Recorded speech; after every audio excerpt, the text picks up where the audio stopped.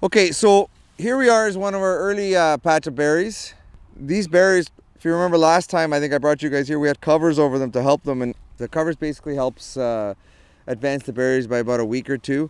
And if you look close enough, you'll see all the green berries. Um, well, there's still some of them the size of my fingertips, some of the size of my thumb, but I would say in about a week or 10 days, we should start to see the first, the first pick of our June berries.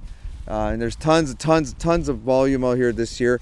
Hopefully, if I can continue to feed them and uh, water them, and and uh, we'll should have a good abundance.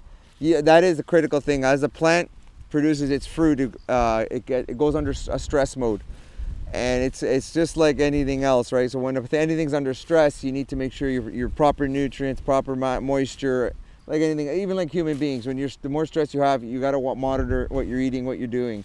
Uh, exercise help, you know, uh, and that's for humans. So the plants is, is, is very similar in, in a, a, little different way, you know. So we do it with food.